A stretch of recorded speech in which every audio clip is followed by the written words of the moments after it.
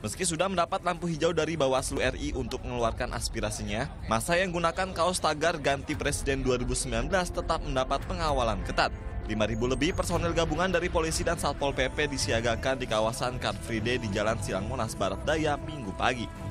Bahkan sejumlah petugas Satpol PP menyiapkan 5 karung kaos putih untuk dibagikan kepada masa pengguna kaos dukungan presiden tersebut. Namun sebagian ada yang menolak untuk mengganti kaosnya. Mereka berkuku gerakan yang mereka lakukan sah di mata undang-undang. Mereka uh, meminta untuk dilepas atau dicopot. Itu saja. Tidak terjadi bentrok fisik apa pun ya. Tapi itu sudah merupakan suatu bentuk uh, ancaman juga ya, intimidasi yang sebetulnya tidak tidak tidak diperkenankan ya. Kami mohon uh, hal-hal seperti ini tidak terulang kembali. Ya, karena masing-masing kita punya hak untuk menggunakan kaos apa pun. Hal ini diamini oleh petinggi Partai Gerindra Fadlizon. Menurutnya himbauan untuk tidak memakai kaos bertagar ganti presiden adalah bentuk ketakutan pihak tertentu. Mungkin ada kepentingan-kepentingan di lingkaran kekuasaan yang begitu takut dengan hashtag uh, 2019 ganti presiden. Padahal itu konstitusional ya. Harusnya tidak perlu takut, ya bikin aja tandingannya. Sebaliknya ditemui terpisah Wakil Gubernur DKI Jakarta Sandiaga Uno yang juga kader Gerindra ini tegaskan bahwa pihak Pemprov DKI Jakarta sepakat dengan Polda Metro Jaya untuk mengimbau masa berkaos tagar pendukung presiden di CFD berganti kaos.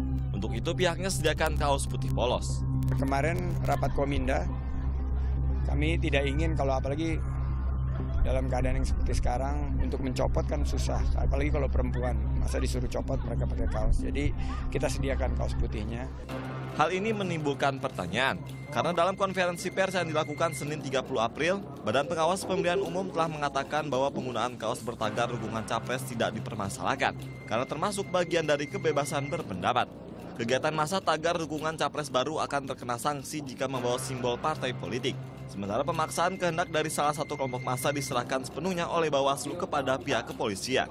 Ini kan menyangkut nanti dukungan calon presiden atau tetap atau ganti. Sepanjang dalam koridor masih dalam opini, hashtag dan kawan-kawan kami rasa itu termasuk dalam kebebasan berekspresi. Kebebasan berekspresi dilindungi oleh undang-undang dan Bawaslu ter terikat dengan itu.